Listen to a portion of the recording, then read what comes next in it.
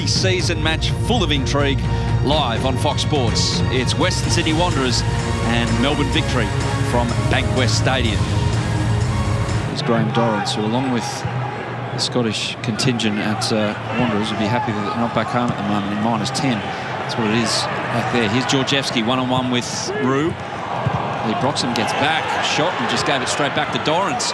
Georgievski, top corner, almost.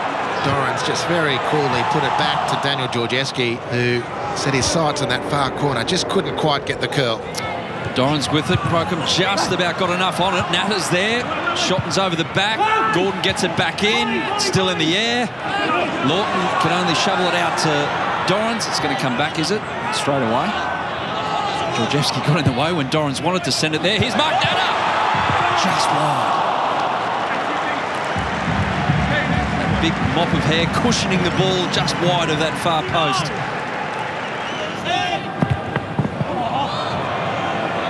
Butterfield. has a chance, perhaps. Brimmer. Kirdar. Brimmer can turn. Elects not to. Butterfield. Nice little interchange. Burke and Kirdar can have a go. Margush palms over. Nice play. Really nice play from Victory. One touch movement. Good space. Good decision. It did take a deflection and Margush reacted really well. It's a good save. It is.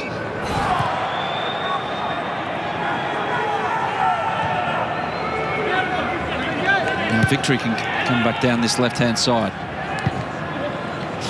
It's a loose one from Birkan Kirdar and uh, Troisi shakes off his defender and his Keanu Baccus who went near post and did well because he was perhaps thinking it was going to go in one direction only but covered where he had to well. Crocombe does well. The angles across goal were cut down by the recovering defenders. It's Jordan O'Doherty this time. Oh, Baccus has tried it again, this time downwardly. Not the scorpion flick per se, and a bit of follow karate kick there. And it's a penalty. Rudy Gestede, he's tried to go the acrobatics. Bernie Ibini is out. Is he? He's just holding his face, so he might be still with us, but it is a penalty.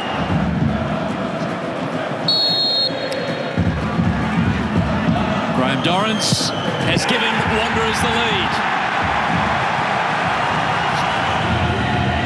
Well, his season is growing. It's the quality of Dorrans for 1-0 from the penalty spot. Sometimes tonight, Harps haven't quite been there for, for victory when they've most needed it. No, not at all. Um, well, I say not at all. That's, that's too extreme. They have had some moments. They haven't had nearly enough consistency in their attack. And there was a 10-minute period in the second half when their football was and their territory was dominating. Ben Folami with a shot on target. That's straight into the path of Daniel Margush. But from then until now, Margush has not had to do anything. But it was a good little side of goal. He's been busy since he came on Folami. Doherty flicks it on to Ibini. Gets it back from Russell uses the shimmy to get free and set sail forward. Here's Kwame Yeboah with a second chance, and this time he takes it. And Wanderers are going to take all three points at home midweek. This is the business.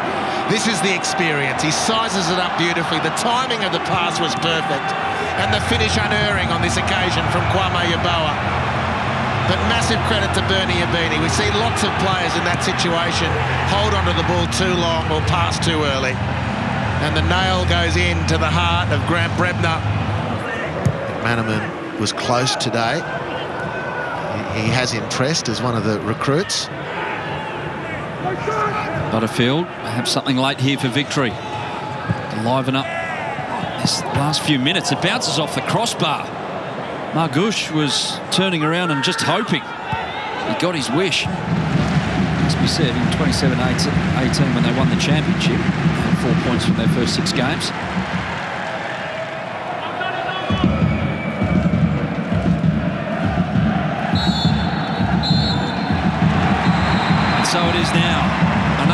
Victory. Their stuttering start to this A-League season continues, but Wanderers are certainly going in the right direction. Another win. Their undefeated run goes to six games. A night, another night of regret for victory. Not for Western Sydney. They get all three points at home.